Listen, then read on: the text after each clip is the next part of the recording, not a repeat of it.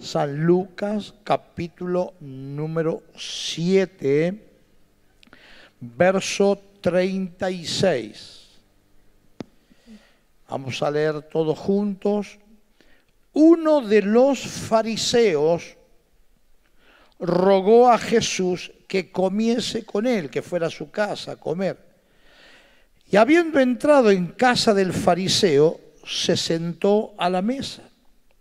Entonces, una mujer de la ciudad, de la ciudad, que era pecadora, la palabra pecadora aquí em, se refiere a mujer de mala vida, lo dice una versión. Voy a, voy a aclarar esto. Es importante porque una mujer de la ciudad, de mala vida. Otra versión dice prostituta en casa del fariseo. Eh, entonces una mujer de la ciudad que era pecadora, al saber que Jesús estaba a la mesa en casa del fariseo, trajo un frasco de alabastro con perfume y estando detrás de él a sus pies, estando detrás de Jesús a sus pies, llorando, comenzó a regar con lágrimas los pies de Jesús y los enjugaba con sus cabellos y besaba sus pies y los ungía con el perfume. Cuando vio esto, el fariseo que le había convidado dijo para sí, este, este, si fuera profeta, conocerían quién y qué clase de mujer es la que le toca, porque es pecadora.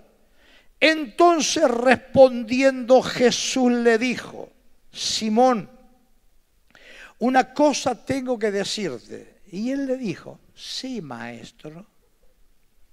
Sí, cómo no. Primero lo está juzgando. Qué tremendo. Porque el fariseo no se lo dijo a nadie, él lo pensó. Y Jesús le dijo, tengo algo que decirte. Y él dijo, sí, cómo no, lo más hipócrita posible. ¿Sabe? Todo lo que usted piensa, lo que yo pienso, tenemos un micrófono diminuto, una partícula en la mente que es un micrófono inalámbrico como este, pero ultra pequeño, instalado aquí, que todo lo que usted y yo pensamos retumbe en el cielo. Por eso hay que, hay que cuidarse como uno piensa. Ah, te puede engañar al pastor, yo lo puedo engañar a usted, tal vez con habilidad, con manipulación, se puede engañar si es que usted es aquellas personas que se dejan manipular o son de aquellas personas que piensan. Por eso me gustaría que usted este pasaje lo lea en su casa, porque usted va a notar que, por ejemplo, en Mateo capítulo 26, Marcos 14 y Juan 12 hablan de una historia similar que están ligados temáticamente, coinciden temáticamente, pero no cronológicamente. Habla también de una misma historia de una mujer que derramó un frasco de perfume y que San, Juan dice la casa se llenó de olor fragante. Eh, este es otro caso. Temáticamente coinciden temáticamente, pero cronológicamente es importante que le explique esto por qué. ¿Por qué? Porque vamos a identificar también la casa del fariseo. ¿eh? Esto lo tiene que leer en casa, usted no, tiene, que dejarse manipular. Lo que escuche el domingo o miércoles, el día que sea, usted va a la casa, trate de traer siempre una libretita de apunte o lleva la grabación y después en casa lo escucha, lo lee, lo escrudiña y usted aprende de esa manera. Y si se le dice algo de este lugar que no está en la Biblia, usted no tiene por qué recibir nada de eso. Entonces con eso usted va a matar todo espíritu de manipulación. ¿Está bien? Porque usted sabe una cosa, yo voy a decir algo que va en contra mío y en contra de los pastores presentes. Un pastor puede ser un perfecto manipulador. Le voy a explicar por qué. Yo sé qué música le gusta a la gente. Yo sé que música te toca los sentimientos, que no tiene nada que ver con la unción. Entonces yo los muchachos los manejo con la mirada, y viene y toca una melodía suave, bajamos las luces tenues y empezamos a decir las siguientes palabras. Se prepara un ambiente de milagro, una esfera de milagro. Mire, Dios hace milagros, estando todo oscuro, estando la luz prendida, con música, sin música. Dios es Dios. No se trague cualquier caramelito, ¿está bien? ¿Sabe por qué? Porque me fastidian mucho los manipuladores. Porque los manipuladores no te llevan ni a tal esquina seguramente te van a sacar, pero no te va a dar nada. Solamente la gente que te enseña a pensar, la gente que escucharlo varios años te cambió la vida. Esa es mi gran satisfacción, de ver gente de años, no, no de tres años, cuatro años, de ver 25, 30 años, 40 años, como los, los que ya se han ido despidiendo, han pasado a la eternidad. Ah, son testigos mudos, yo los vi llegar a la iglesia cómo llegaron y cómo viven hoy. Gloria sea el nombre. ¿Usted lo hizo, pastor? No, no, yo ayudé en que hace el Espíritu Santo. Yo lo único que fui sensible a la voz del Espíritu Santo. Ahora, si yo hubiera buscado otro, yo a mí me conviene que la gente no piense, que la gente siga, su yugada, que nunca aprenda de que puede, que pueden conquistar. Gloria sea el nombre del Señor. ¿Para qué me meto en la aventura de construir un colegio ahora, hermano, que no está? Estamos raspando la olla todos los días lunes para pagar la empresa. Ahí llegó la cotización, las tres cotizaciones de todo lo que es aluminio, las aberturas de aluminio y todo abajo con una inscripción, sujeto al precio del dólar y la gran sieste, digo, no, no, no, no, usted no piensa eso. Digo, ¿será posible, santo Dios? ¿Eh? Todo sujeto, sujeto. Gracias a Dios que estamos sujetos a Cristo, en nuestra billetera, en nuestro corazón. Lo vamos a hacer. Lo hicimos esto cuando teníamos todo en contra. Aleluya, no teníamos cielo raso, teníamos la chapa solamente, alquilábamos 1500 sillas. ¿Cuántos se acuerdan cuando éramos pobres? Algunos se acuerdan. Alquilábamos 1500 sillas para los sábados y domingos. Aleluya, que los, que los sábados nos quedaba grande, nos sobraban sillas. ¿Eh? Y gracias a Dios fueron, compramos la silla, pusimos, no teníamos piso, Gloria al Señor, aleluya. Dios es grande, Dios es grande. Dios suple, Dios suple, sin andar mendigando, sin pidiendo nada a nadie. Mire, Dios, ¿de dónde salieron, de dónde salen la fuente de nuestra financiación? De cada persona que es prosperada y bendecido. Ese muchacho que trae por primera vez su diezmo, 10 mil pesos, y porque él aprendió que se puede, que se puede cambiar las cosas. Cambia su cabeza, cambia su cosmovisión, cambia la forma de ver la vida. Aleluya. Santo Dios. Te quiero aclarar esto para que lo leas en casa, porque vas a tener tres pasajes paralelos, Mateo, Marco y Juan, que hablan del mismo tema, que temáticamente son coincidentes, pero no cronológicamente. Esto es aparte. Esto es aparte. Esto se lleva a cabo en la ciudad de Naín. El capítulo número 7, apasionante, el capítulo número 7 de Lucas, lo primero que habla, habla sobre la sanidad del siervo de un centurión. que era un centurión? El que estaba a cargo de una centuria. Hay algunas contradicciones. Algunos historiadores eh, dicen que eran un centurión, eh, comandaba eh, dos, mil, dos, mil, hombres en un centurión. Otros dicen que centuria que eran 100. Bueno, no importa, no importa. Era un hombre de autoridad. Él tenía un siervo, esto lo dice el capítulo 7, estoy haciendo un resumen para que usted entienda lo que te quiero transferir porque te va a cambiar la vida. Esta mañana vas a salir saltando como un corderito en la manada, vas a aprender que vos sos alguien bien especial para Dios, aunque todo te haya señalado, aunque todo te haya dicho eres de mala vida, Dios dice, Él tiene potencial, ella tiene potencial, yo lo voy a transformar en un gigante, en una gigante, gloria sea el nombre del Señor. Fíjese usted. Así que comienza el capítulo 7 de esta manera. Este centurión tiene un siervo enfermo. Dice que lo quería mucho. ¿Y sabe por qué lo quería? Lo dice la misma Biblia. Porque él le decían algo y lo hacía. ¿De dónde saca estos pastores? Porque él manda a unas personas influyentes del pueblo de Israel a interceder ante el centurión Estoy hablando de un personaje romano, uno que se ganaba la, jineta o, los ascensos eh, en el campo de batalla, sus manos manchadas de sangre, su espada chorreando sangre, cortaban eso no andaban detrás de un escritorio, eso eh, no, no era la guerra biológica, una guerra tecnológica, esa era cara a cara. Así que no era cualquiera, no era un flojito, no era un blandengue Era un hombre de, una, de un carácter sólido, firme, decidido. Era un centurión. Por eso llegó a un lugar tan elevado ante el orden eh, de autoridad en el imperio romano. Y manda a esa gente de influencia, que eran, unos fariseos, le dice, mira, yo necesito que Jesús, eh, si puede sanar a mi, a mi empleado, a mi siervo. Dice, porque él es bueno, dice, es capaz, lo quiero, porque es raro que un centurión vaya a respetar y a querer los derechos de un pobre hombre que es un esclavo pero se interesa cuando está enfermo. Porque dice, yo le digo a este, haz esto y lo hace. Aleluya, haz esto y lo hace. Mire, todo lo que necesitamos para cambiar es hacer, creerlo, recibir la orden y hacerlo. nosotros estamos cuestionando si será, no será, será de Dios, no será de Dios esto. Si algo me deleito de haberle hecho caso a Dios. Aleluya el día que esto era un montón de ruinas. Yo te conté, lo vine a ver, tenía un cartel que se vendía, eh, nos pidieron 115 mil dólares, no teníamos un dólar partido por la mitad. Hoy 115 mil pesos, ¿es plata o no es plata? En ese entonces era mucho más, mucho más, año 1000. 992. Yo oraba al Señor le decía, Señor, dame un lugar tres veces más grande que la calle Salta. Oraba, madrugadas me pasé tirado en el piso en la calle Salta orando. Algunos son testigos, algunos ya no están, se fueron con el Señor. Y algunos se acordarán, madrugadas que me pasé, aleluya, orando a Dios, diciendo, Señor, un lugar qué chambón que fui, cómo no le pedí un lugar diez veces más.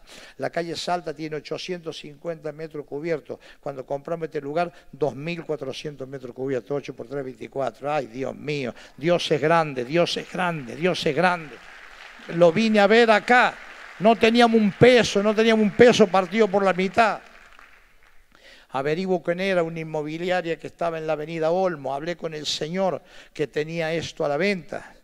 Me dice, mire, esto lo compraron un remate antiguamente, era, fue la Vascongada, aquella empresa que en la época se acuerda de unos funcionarios, eh, la mala leche de Vico, ¿Vico se llama? Porque no sé qué tenía, digo la mala leche porque había problemas con eso, con la leche.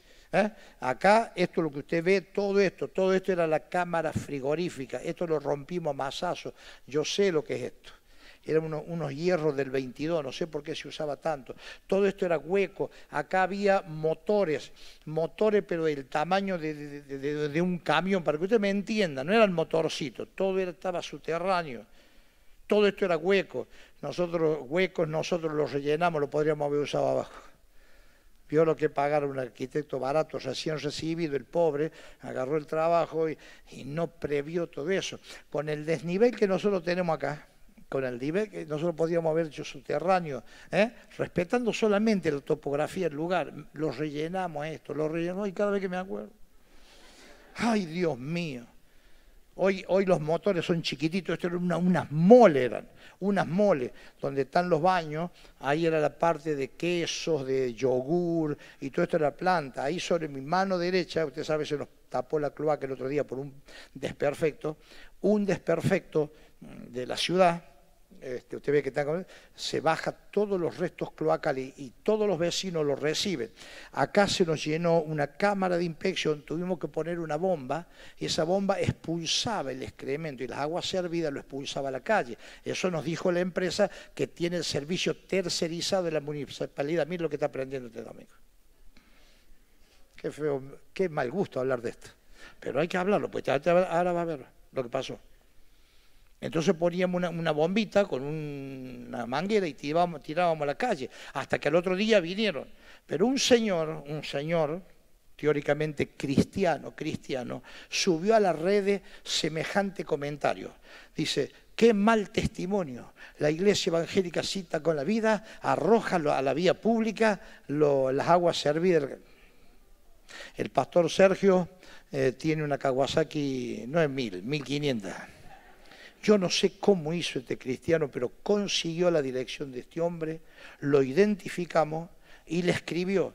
Y el hombre entonces pidió perdón. Dijo, ah, perdón, yo no sabía. En vez de pedir perdón, ¿por qué no vino y habló antes? a ver que usted hace un daño y usted se dice cristiano, está hablando de hermanos suyos. Si usted ve que hay una falta, venga y hable. Ah, yo no sabía, perdóneme, pastor. Venga, cómo es la gente. ¿Cómo es la gente? ¿Eh? Ya gracias a Dios hay una, una reparación provisoria porque hay que cambiar el caño que va desde la entrada hasta la esquina. Hay que cambiar, abrir toda la calle y cambiar el caño.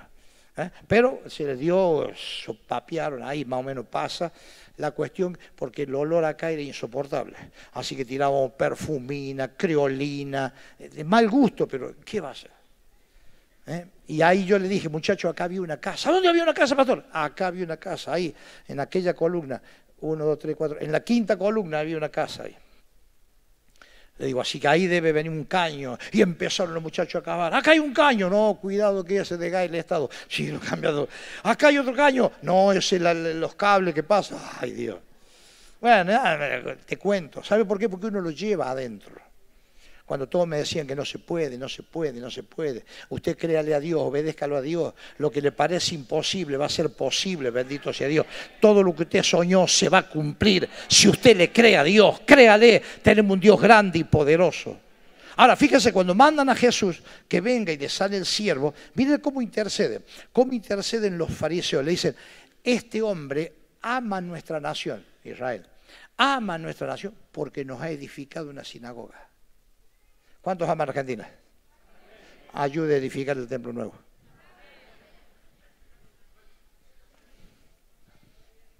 Aleluya. ¿Me presta una silla?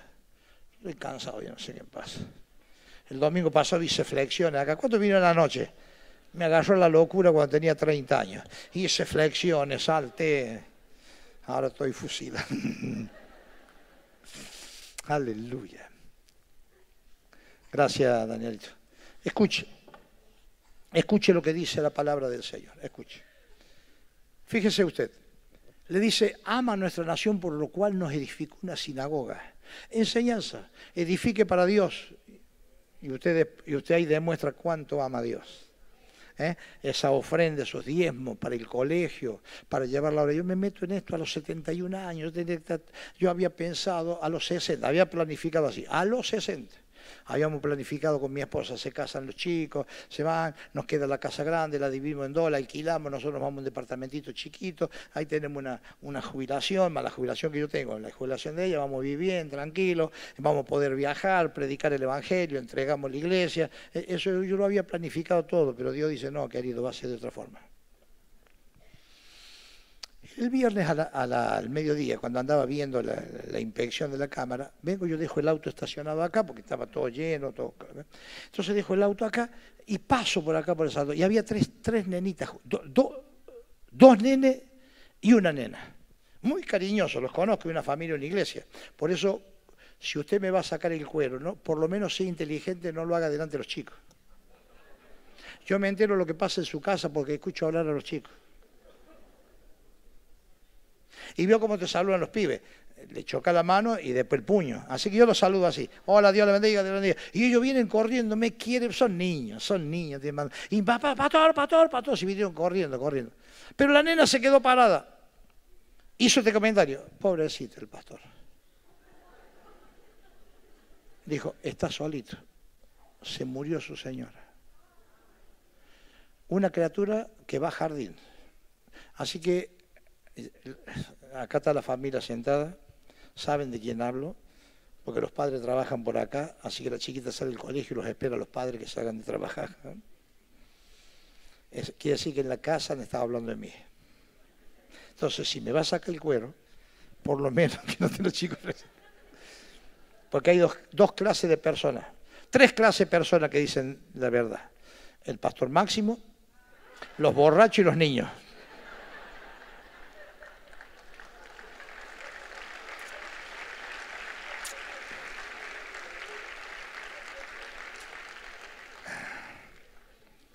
Así que el Señor le sana al, muchacho.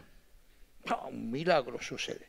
Sigue el derrotero y Jesús llega a la ciudad de Naín, donde una viuda va a enterrar su único hijo. Naín es Palestina. Si usted lee los otros tres eh, registros que temáticamente coinciden, no cronológicamente, le van a decir Betania a que era Naín. Ah, pastor, ¿cómo se vino afilado? Eh, para eso me levanto a las seis y media para leer. Y... Para eso me levanté temprano. Para eso preparo el alimento que voy a servir hoy día. Willy, ¿para cuánto hiciste el locro el otro día? Para 300. ¿A qué hora comieron? A la una y media. ¿A qué hora empezaste a trabajar? ¿Cuánto? Dos días antes. Lo buscaron de su trabajo.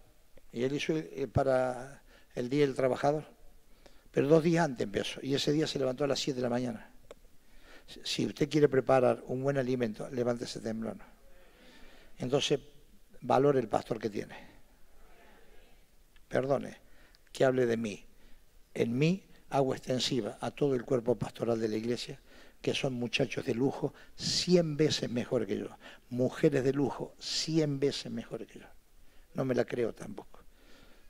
Me he preocupado para que ellos crezcan, se desarrollen con el tiempo. Los que me creyeron y me han acompañado hasta hoy lo pueden atestiguar.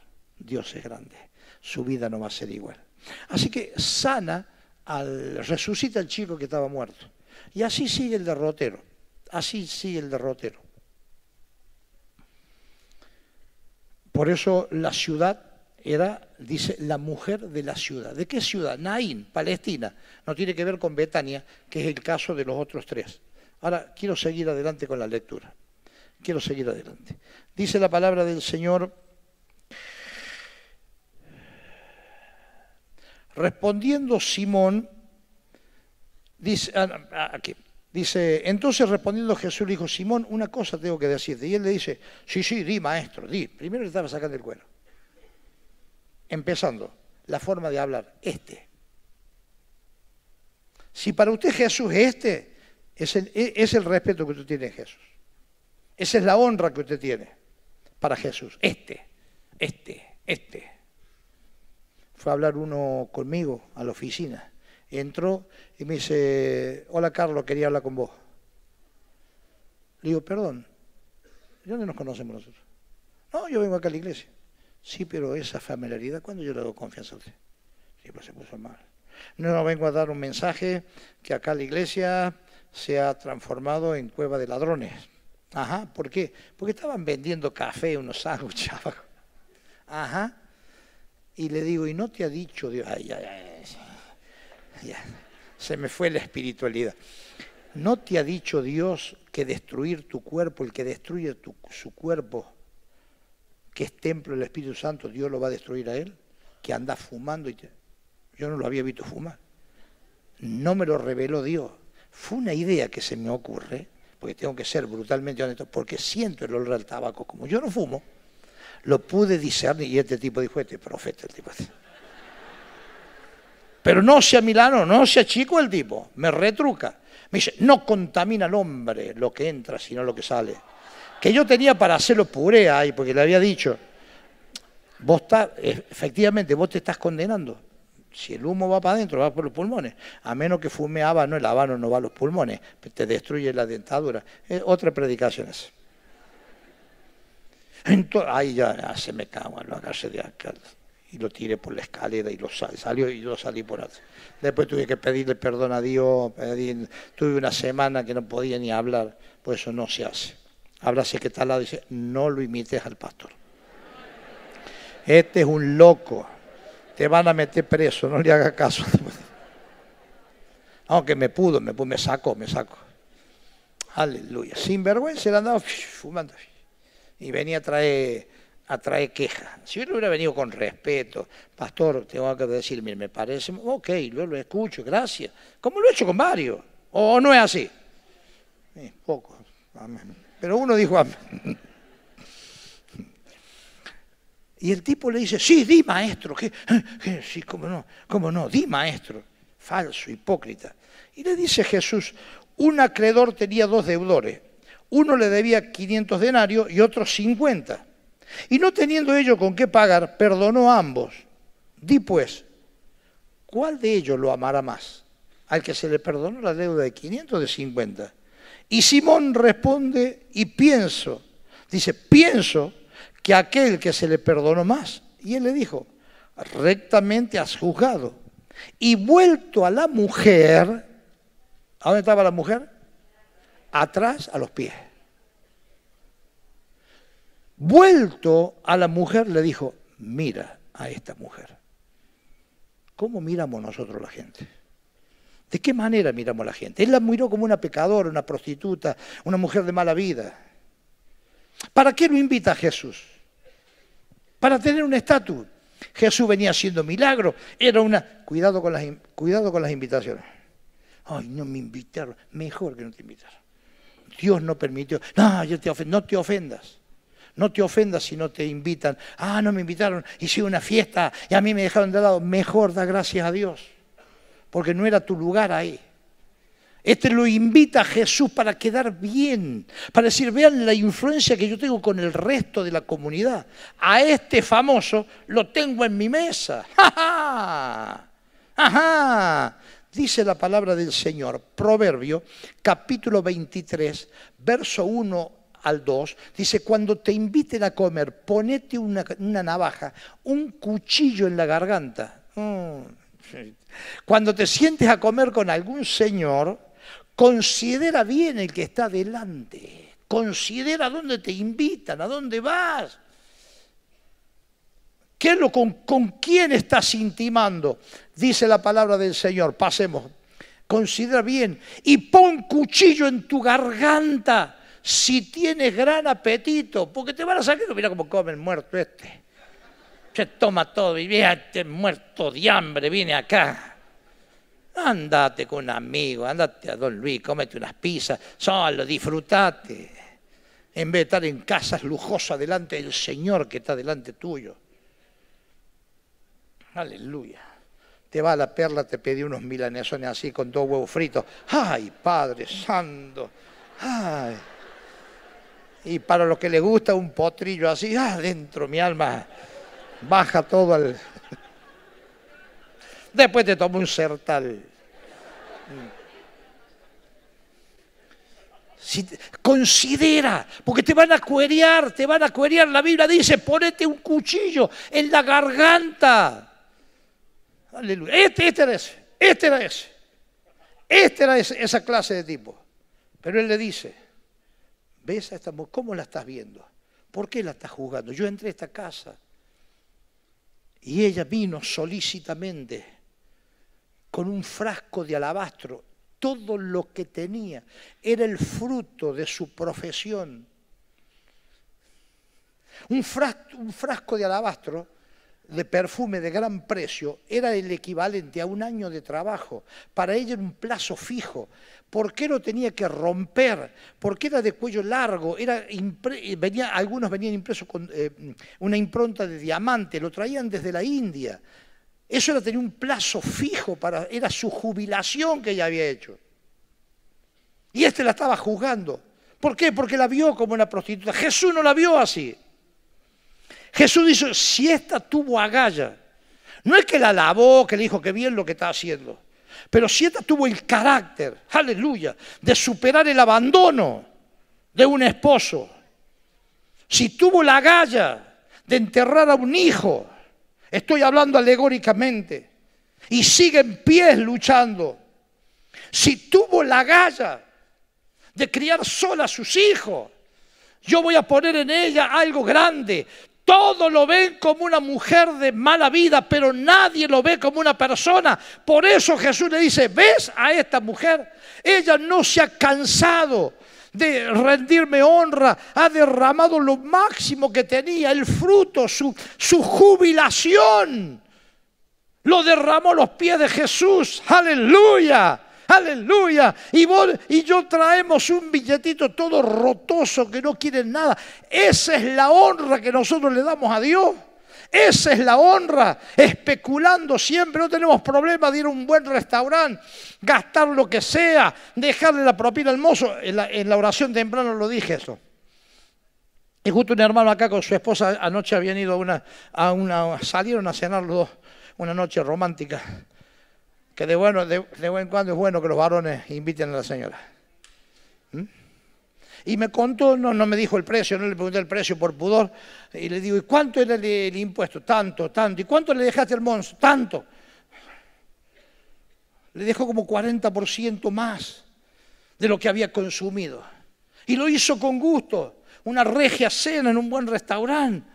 Aleluya. Pero muchas veces nosotros no tenemos problema de darle la propina al mozo, pero venimos a la iglesia y damos un billete rotoso, una moneda que no quiere nadie. Guárdesela, guárdesela. Pero si va a honrar a Dios, honrelo en serio, bendito sea el nombre del Señor. Con algo que cueste, con algo de gran precio, porque Dios está viendo tu situación. No te condena por tu pasado, porque Él mira el futuro, bendito sea el nombre del Señor. Está viendo lo que va vas a hacer de ahora en más.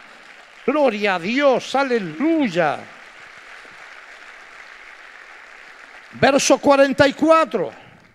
¿Ves esta mujer? Entré en tu casa y no me diste agua para mis pies, mas esta ha regado mis pies con lágrimas y lo ha enjugado con sus cabellos. No me diste beso, maestra desde que entré no has cesado de besar mis pies, no ungiste mi cabeza con aceite. Mire, dos cosas tenía, perfume y aceite. Aleluya. El perfume que hermosea, dice la Biblia. Aleluya. Aleluya. Cuidado con las moscas que echan a perder el arte del perfumador. ¿Por qué dice eso el libro de Proverbios? ¿Sabe por qué lo dice? Porque cuando hacían el perfume, subía un perfume, humo que subía de la producción del, perfume dulce atraía a las moscas. Si el perfumador no tenía cuidado, las moscas caían dentro del perfume y lo arruinaban. Por eso no deje que las moscas echen a perder tu perfume. Aleluya. Pero no solo llevaban perfume, no solo ellos perfumaban el ambiente donde estaba, usted tiene que perfumar el ambiente de su casa, hablar bien, no andar maldiciendo, insultando a la señora, a los chicos. ¿Qué clase de cristianismo es ese? Por favor, si eso es cristianismo, yo me hago monje budista. Llegar a la casa, insultar, tratar mal, patear al perro. ¿Me entiende? Beslearse con los vecinos. ¿Qué cristianismo es eso? Donde vamos, dice la Biblia, nosotros somos perfume agradable, olor fragante, olor fragante, aleluya. Pero también somos gente de unción, tenemos aceite, gloria a Dios, donde nosotros vamos, no solo perfumamos, cambiamos el ambiente por un buen olor, sino que lo transformamos con la unción del Espíritu Santo. Bendito sea el nombre de Dios. Esta mujer iba a cambiar la historia, esta mujer iba a cambiar la historia, no iba a ser más de mala vida. Mire lo que dice después. Mira lo que dice después. Aleluya. No ungiste mi cabeza con aceite, mas esta ha ungido con perfume mis pies, por lo cual te digo que muchos pecados le son perdonados, porque amó mucho, mas aquel a quien se le perdona poco, poco ama. Y ella le dijo, y él le dijo, tus pecados te son perdonados. Y los que estaban juntamente sentados a la mesa comenzaron a decir, ¿quién es este que también perdona pecado? Pero él le dijo a la mujer, tu fe te ha salvado, ve en paz. No le dijo que estaba bien lo que estaba haciendo, no, no, no, porque él entendió la situación, por eso se lo dijo este cabezón, la ves a ella. Ves a ella, la ves como un ser humano, lo ve lo que ella sufre, ve lo que está haciendo ahora, está invirtiendo lo mejor que tiene, ha enjugado mis pies con sus lágrimas, me ha ungido con perfume, me ha ungido con aceite. Bendito sea el nombre del Señor. Usted puede cambiar o ser un hipócrita religioso y ver la vida según usted opina de la gente. Deje de opinar según lo que usted crea. Opine conforme a lo que Dios, a lo que Dios quiere. Cuando a mí me dijeron, ¿Cuál es su opinión sobre un asunto? Yo no tengo opinión. Yo soy un hombre que no tengo opinión. ¿Cómo que no tiene opinión? No, yo opino lo que Dios opina. Si Dios dice que el aborto es muerte, para mí es muerte. Si la Biblia dice que lo que practican el aborto se van en el infierno, es lo que Dios dice y es lo que yo digo. Yo le creo a Dios, Podemos opinar si quiere de fútbol, podemos opinar de otro tema secular eh, sin trascendencia, pero en cuanto a Dios, lo que Dios dice para mí es ley, no tengo opinión, yo opino lo que Dios opina, pero el religioso hipócrita condenaba a la mujer, aleluya. ¿eh? Y Jesús dice, ve la mujer.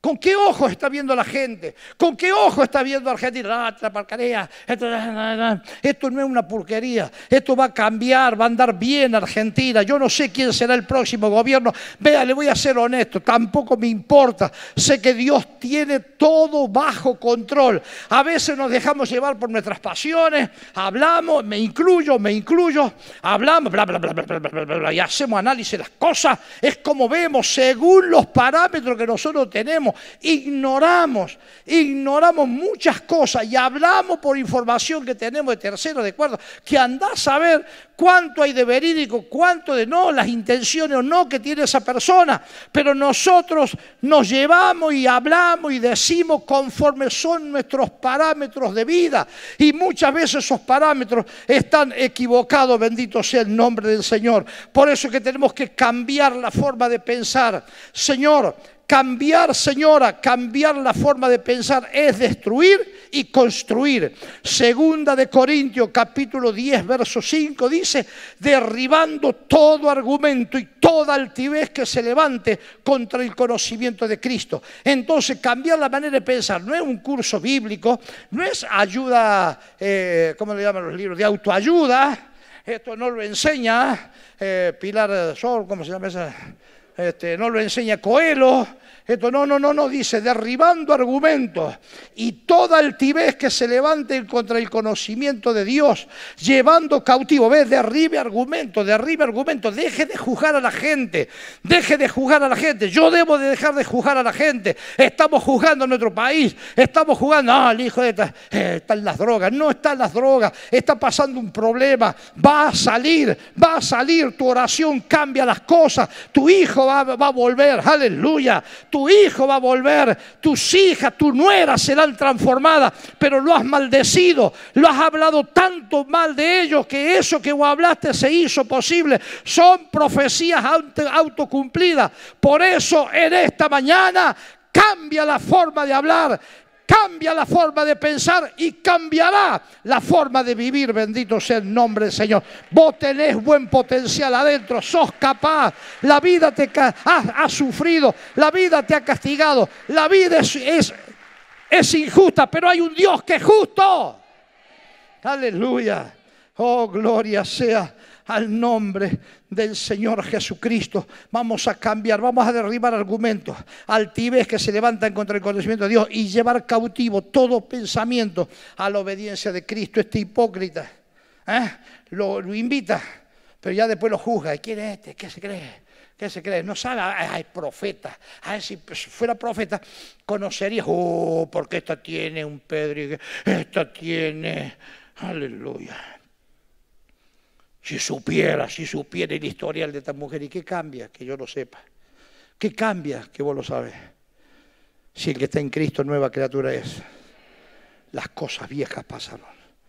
Son todas hechas de nuevo. Si yo me hubiera llevado por prejuicio, me hubiera llevado por el que dirán, hoy no estamos acá. Hoy no tendría la satisfacción de ver tanta gente cambiada y transformada por el poder de Dios algunos ni me saludan, otros no importa, no importa. Tengo la satisfacción de haber creído a Dios, del día que me vaya a haber colaborado con algo para dejar un mundo mejor. Aleluya. Ah, cuando veo a mis nietos, cuando veo a mis hijos, aleluya. Al más chiquitito tengo un video, nos lo filmaron justo, salieron un viaje de, de Mateo, tiene cuatro años, va a un viaje de colegio, de, de, y, un chico, porque claro, el pobrecito, el vocabulario del niño, le dijo, maldito, maldito, le dijo. Se pelea, no sé qué.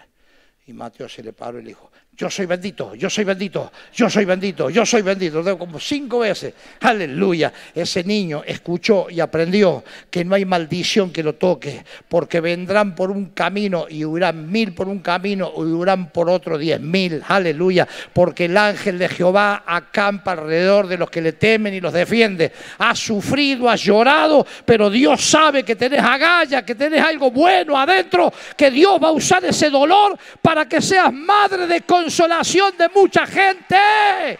Gloria a Dios, aleluya. Yo hay cosas que no tengo respuesta, yo no lo sé todo, pero sé que si Dios permitió que pasara esto es porque tenés la galla para ir adelante. Gloria sea el nombre del Señor.